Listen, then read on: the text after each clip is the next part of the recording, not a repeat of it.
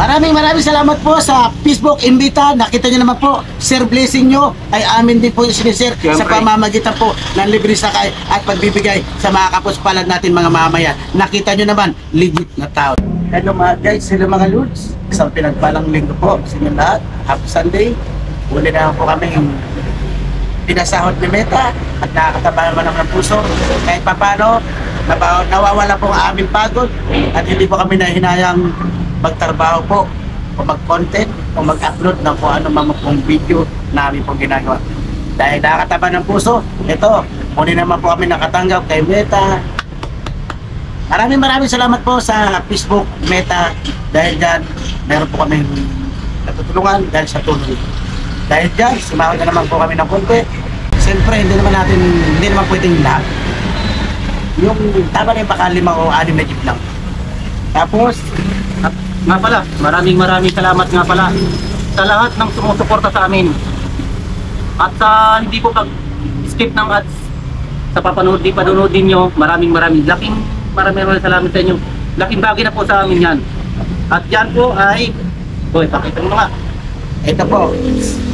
Dahil sa suporta po, sa lahat po ng mga sumusuporta sa Wedix TV, Boy Karapatan, ito po. Nakita nyo naman po, kahit konti lang po ito, pero pagkakasahin po namin ng sa ganun po, matulungan po natin ang mga nakikita natin na talagang legit na dapat pong Dapat bigyan ng po. tulong. Tulad ng mga nakita natin sa daanan, yung asi walang kakayahan magtrabaho, mga legit lang po At na tayo- dapat bigyan. Tsaka boy, pinipili lang natin talaga yung talagang wala, wala. Ah, alam na po nila yan. Kasi kung bibigyan naman na po lahat, sana maintindihan niyo po. Talagang pare-pare lang po tayong kapos din. Nagkataon lang po na may konting blessing at kailangan din po namin i-share. Maraming maraming salamat po sa lahat po ng mga sumusuporta, sa lahat po ng mga viewers, mga followers namin. Po, po. Yan.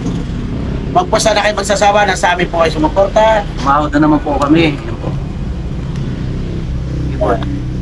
Yan po. Maglilibre kami ngayon ng anim na jeep. Tapos magbibigay po kami ngayon sa amin dadaanan.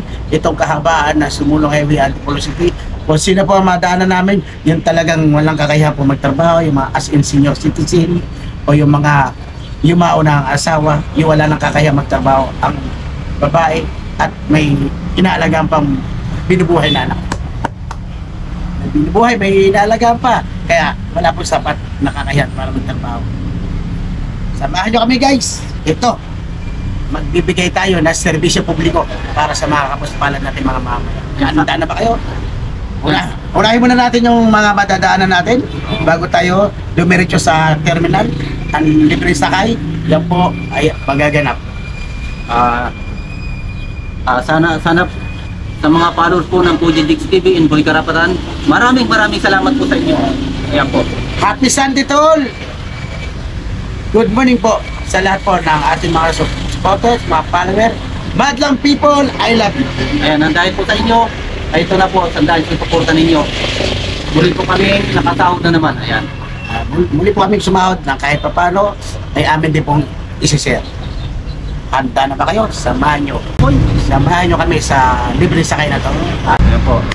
Laking tulong po sa amin yan. dahil sa paghahatian namin to, siyempre, yung butan, nililibre sakay at pamimigay namin sa mga tapos pala dati mga kalugar dito sa Antipolo City. At syempre, yung iba naman, para sa pamilya natin, di ba? At siyempre, papaya, hindi po mawala yun. At saka yung biyanan, wag muna yung biyanan ha.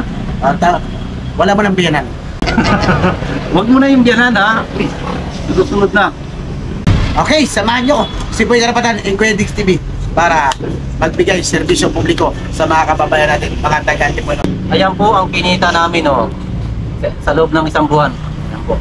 Maraming maraming salamat po sa Facebook Invita. Nakita nyo naman po, Sir Blessing nyo ay amin din po yung sinishare sa Siyempre. pamamagitan po ng libre sakay at pagbibigay sa mga kapuspalad natin mga mamayan. Nakita nyo naman, legit na tao to. Go!